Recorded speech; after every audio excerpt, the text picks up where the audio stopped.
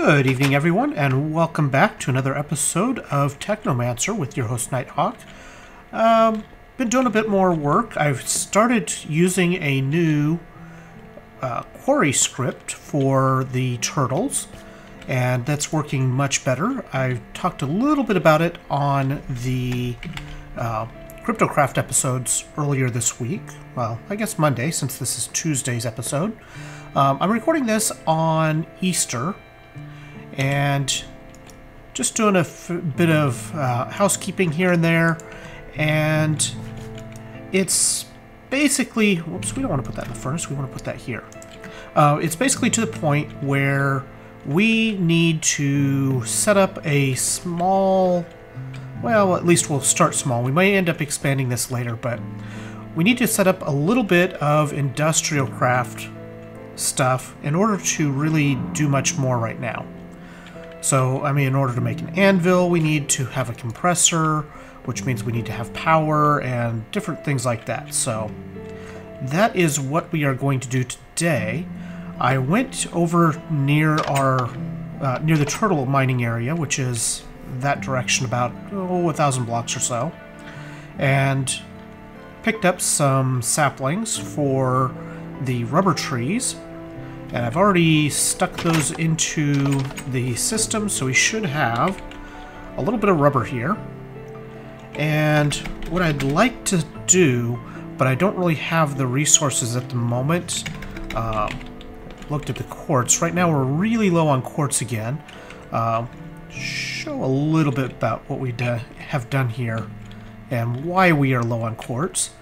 So Basically, if you look at these, the green means that there's room on those particular modules. Orange means that the uh, it's reached the maximum number of types of items stored. In this case, it may basically means that all of these are pre-formatted, so there's a limited number of items that they can take. But uh, this is the big one here. So I've got our first 16K storage unit now which, uh, yeah, much bigger storage device. I'd like to get most of the storage into this, uh, up to this level. It's going to take a while to get there, but that's not a huge deal, really. Uh, main thing it takes is just loads of quartz. Because it takes, uh, if we look at the storage, it takes, why is the, well, I don't know why the storage cell is not showing up here. Oh, there it is. It just looks different. Different background makes it look different. Interesting. Anyway, to get one of these takes four quartz cell or quartz crystals. Then you upgrade it to a storage segment with three of those. So now we're up to 12 of the uh, quartz crystals just to make one storage segment and the 4K storage unit uses one of these. The 16K storage unit uses one of these storage blocks, which takes three of the storage segments, so we're now, we're now up to 36 quartz for one 16K device. And then if we go even further, this storage cluster needs three of those storage blocks. So it takes even more quartz. Uh, I think the bigger ones are worth it, especially when you get into when you take into account the uh, drives that you need in order to have multiple, uh, too many of the storage devices. But uh, yeah, we'll be making more of those bigger storage devices as we go.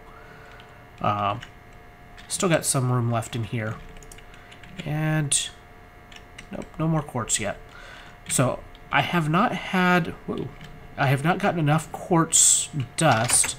Well, I might have had enough to do it earlier, but I used it all on making the 16K storage device and a couple other devices, but I haven't gotten enough to connect the Thaumcraft tree quite yet.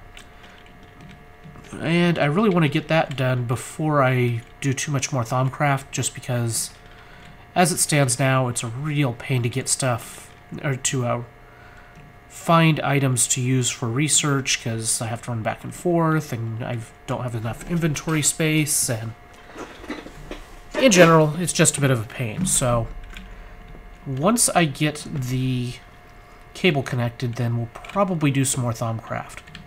In the meantime, let us get to making our uh, making the tools with of which we need. The industrial craft machines. We're just going to make a bunch of those. And now we need to make a circuit for the let's see is it refined iron that it needs for a circuit? Let's go back to our compressor way we can look easier. We need refined iron or aluminum ingots. We can't make aluminum ingots yet. If we use electrum, then we get two circuits. Let's see, which was electrum, gold and silver? Gold and silver. So let's grab some gold ingots and some silver. And let's make some electrum. Whoops. There we go. Uh, I do still need to make a recipe for this. There we go. And we also need to cook a bit more iron into refined iron. So let's stick that in the powered furnace. Now, in the meantime, we can take the electrum and piece of refined iron, and we get two electronic circuits. So that's perfect. Now, what else did we need? We need stone. We have some of that. We're going to make our compressor first, and then we will make a generator for it. And what I'm going to do is make a geothermal generator because we have loads of... What are all of the... Oh, man, that's a pain. Because all of these go in the generator, it shows their stats the whole way through. So we need a battery, some refined iron, and an iron furnace. Or we need a furnace. So this takes 8, 9, 10, 11, or 8 iron. I think we want this option. So let's make ourselves another machine block. There we go. And the battery is going to be 10. Uh, let's see, copper wire on top, if I remember correctly. And some redstone. Let me guess, the redstone goes here. I think this is the way it's supposed to be. I always forget these recipes. And especially once I get this thing... Okay, give me. Why won't you give me? It won't let me take it.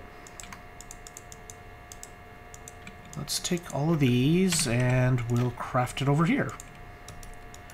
So tin on the sides, redstone there. There we go. That was weird.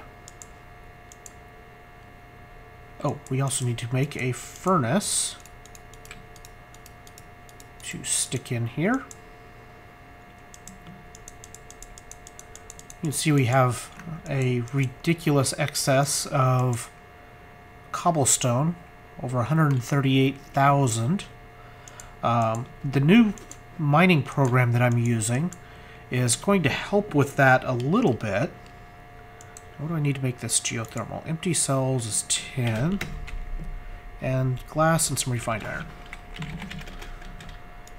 Um, yeah, the new program will help because it does not uh, instead of mining everything in the entire uh, block, the entire mining area, it only mines the blocks that you actually want.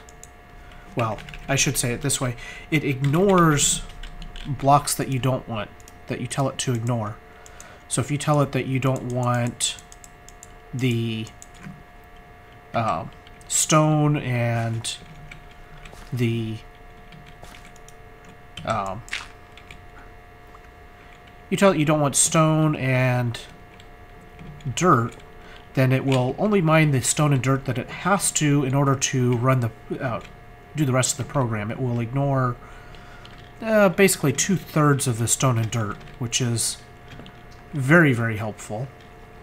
It also does a better job of cleaning out everything around the bedrock layer. So I will probably put a link to the program in the description of this video. I'm going to put our generator here. I no, here. Oh, well, that's not going to work. Uh,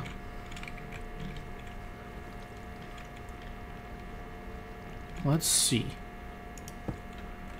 I guess we can come over and up. What is right here? Well, I guess we'll go and we'll put our next machine right here.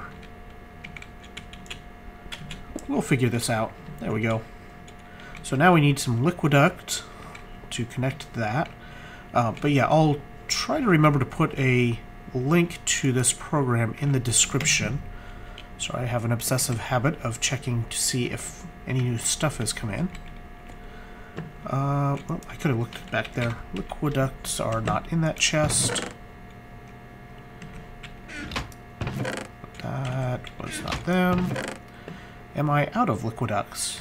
I may be out. I am out of these liquiducts. So let's see, we've got... I made some more hardened glass. So we got some copper. Let's make 16 more for now. Uh, we also need the copper wire because we need to be able to connect this. Uh, eventually we will add, probably add things like battery boxes and different things like that. For the moment, uh, not really necessary. Okay, there we go. And I mean, I and I also don't want to put too much focus on the um, industrial craft part of things here. I don't have the wrench down here.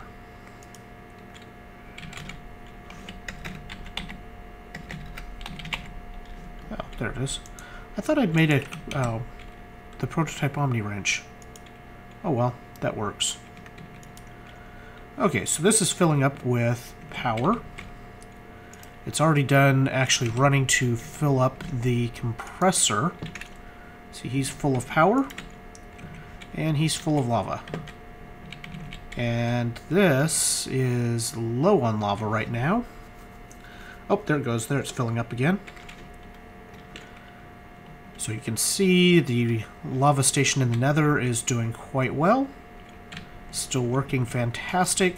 Uh, Magma Crucible is actually out of Netherrack.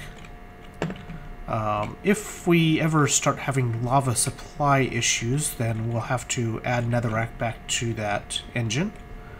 Or to the Magma Crucible, that is. And now, let's... We are going to need to take and toss a bunch more iron in there. And let's take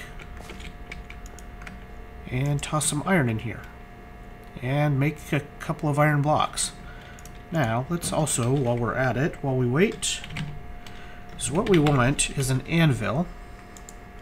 So we need three iron blocks and some more iron ingots. And the reason why we want an anvil is it gives us a way of combining soul shards. Now, that does mean that we are consuming both levels and the diamonds required to make the shards. But for some things like the blaze, this might be a better option. What are we doing here? Iron. There we are. And there's going to be other things that we need to make blocks of, so having the compressor is not a bad thing. Um, yeah, I don't really want to focus too much on industrial craft, but there are going to be some things that we need. And something else that I would like to do is set up a turtle charging station and get out probably make another mining turtle. I'll probably need... I think I have enough diamond... Yeah, I've got plenty of diamond to make another diamond pickaxe to, to uh, make one more uh, mining turtle and charge it up so that it can run for an extended period of time. Ooh. Okay, so we need iron. And what we're going to do is we are going to test out the shard combining with a shard that is going to be pretty easy to recreate if we need to. So we got this tier 1 chicken shard and let's just say that chickens are not an issue. We have our uh, amazing Let's check our roof real quick while we're up here. Awesome. Uh, we have our amazing little chicken egg farm that is just over there. The double chest is completely full of eggs, so we don't really have an issue with uh, with chickens. We can always make we can always get more chickens. So if we put in the tier 0 with 21 kills blaze shard and add this uh, chicken shard to it, we get a tier 2 blaze shard. And it costs us a whopping one level. That's almost feels cheaty, but that is definitely the way to... Oh, I see... I see wisps. I've had a little bit of a weird thing start happening to the world since I moved it over to a server. I hear you, Wisp. Where are you? There you are. I need some wands. Ooh, that got him. And we got a wispy essence. Awesome. Um, yeah, I've had a weird thing with the world. Uh, you can see my flux in this area is minimal. If I go over here, it's moderate. But when I log into the world after you know a day or two of not playing on this world, depending on what I've been up to, um, this area right in here, up on this hill, and around this area has been absolutely packed with wisps. And I really haven't, I mean, I haven't done anything with Thaumcraft in quite some time. So you'd think if there, even if there was a an issue with the aura, you get out. Go. Dang guy. Um, yeah, even if there was an issue with the aura, it should be resolved. I mean, it should resolve itself by now. So it's really kind of weird. Now, I'm also curious. So that went up from... That basically gained one level over the chicken shard to become tier 2. What happens if we take another tier 0 shard? Let's come over here and grab a stack of eggs. And just... Hey. Okay, so there's tier 0 on that shard. One kill. Let's see what this does this time. So put our blaze in the front. Stick him there. And one kill now turns this into a tier 3 shard. So yeah, it does eat up diamonds, but that is a much easier way of building up these shards, even if it does take the diamonds. I think, especially with the turtles going again, and as long as I keep up the uh, with the storage requirements, I may see if I can find a way to dump, uh, to effectively dump out a bunch of this cobblestone. Um, maybe I'll even put some of this, uh, maybe I'll even invest a little bit more into the uh, industrial craft side and the Greg Tech side in particular and make a scrap boxinator with a recycler and just have the uh, set up machines so that it automatically keeps oh you make a large electric buffer to make small ones interesting um, but yeah I may make a um, make one of these scrap boxinators one of these and make a uh, recycle a recycler and set up an auto crafting table to make all of this cobblestone. So I got a hundred over a hundred thousand cobblestone in here. There's I don't have any use for that much cobblestone. Ever. I mean there's no way I'd ever use it. So maybe I'll make use of it in that way. We're going to toss some of this into the furnace. I also need to uh, set up a little bit of a processing system that would export, you know, maybe I can change which item it's, it's exporting. Yeah, just choose an item and put it in there to export, but just uh, automatically process materials. I guess I could do that. All I need is one export bus right here come to think of it. And then set up... Can I make one of these? Did it make? It did make. So let's do this. Let's go ahead and change this to accept from the right. Let's turn off... We'll turn that to the top. And we're going to export everything to the left. And let's grab this. Now, what we're going to do is...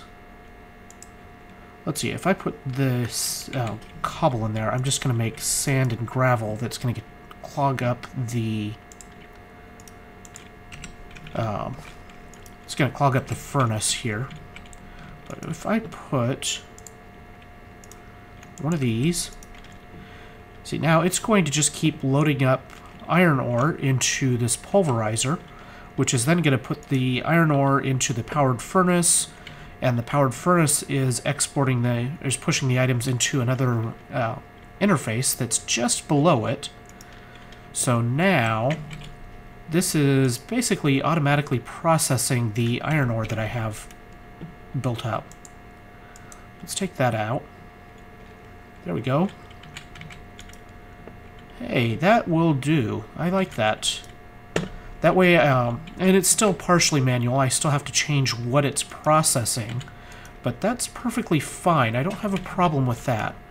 Uh, that will help to process the you know, 300 iron ore that I've got. I've actually got 700 pulverized iron ore because I was just sticking the uh, iron ore into the pulverizer. But uh, I may even...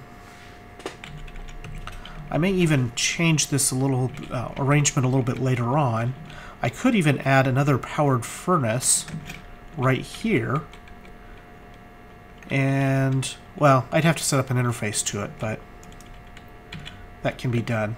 So now I've got 7 quartz, 8 quartz dust. So getting there. Um, I need about 20 more quartz dust to connect the tree fort, I think. Somewhere in that neighborhood. But uh, anyway, this is probably going to be about it for this episode. I'm going to finish charging up this soul shard, and I think we will shortly be setting up a blaze spawner in this area. Probably out, uh, out a little ways so that we can set it up where we can, uh, and we'll set it up with an automatic killing system that's hooked into the ender chest so we can collect all the items in nice and easy. And because we do need blaze rods for a variety of things as well. But I think that's going to do it for this episode. I hope you guys enjoyed, and I will see you guys next time. Have a great night. Bye.